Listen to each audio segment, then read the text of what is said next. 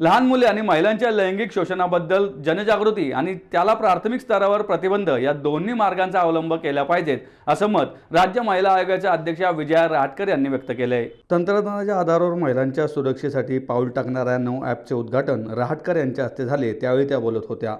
पुण्यातील के एम रुग्णालयाचे संशोधन केंद्र बर्लिन इन्स्टिट्यूट ऑफ सेक्सॉलॉजी आणि भारतीय तज्ज्ञांचे सल्लागार मंडळ यांच्यातर्फे हा कार्यक्रम आयोजित करण्यात आला होता.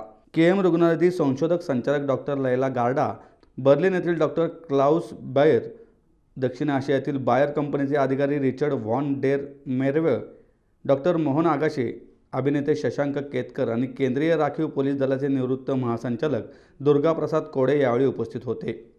रहाटकर म्हणाल्या या ॲपमुळे खूप फरक पडणार आहे असा विश्वास वाटतो. कारण यापूर्वीचे काही ॲप्लिकेशन्स आहेत पण मुलींना होणाऱ्या त्रासापासून वाचवण्यासाठी लोकांनाही अनेक पर्यायांची गरज आहे.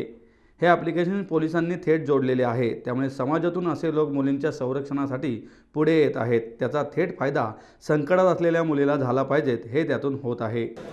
या ॲप्लिकेशनमध्ये मुळे खूप फरक पडणार आहे असं मला वाटतं.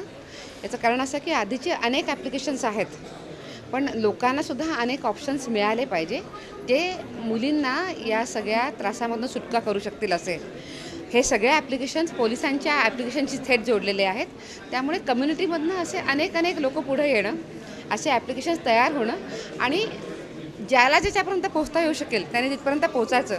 पण प्रत्यक्षामध्ये मात्र जी पीडित मुलगी असेल तिला ह्या सगळ्यामध्ये तिचा उपयोग व्हायला हवा अशा प्रकारचं हे ॲप्लिकेशन आहे. त्यामुळे मला तर असं वाटतं आहे की वेगवेगळ्या फील्डच्या लोकांनी आलं पाहिजे त्यांनी त्यांचे प्लॅटफॉर्म उभे केले पाहिजे आणि अल्टिमेटली मुलींना संरक्षण दिलं पाहिजे. नो ॲप महिलांवरील अतिप्रसंगाच्या घटनांचे प्रत्यक्ष ठिकाण शोधून ते नोंदवण्याची प्रक्रिया आणि पद्धतींवर आधारित आहे.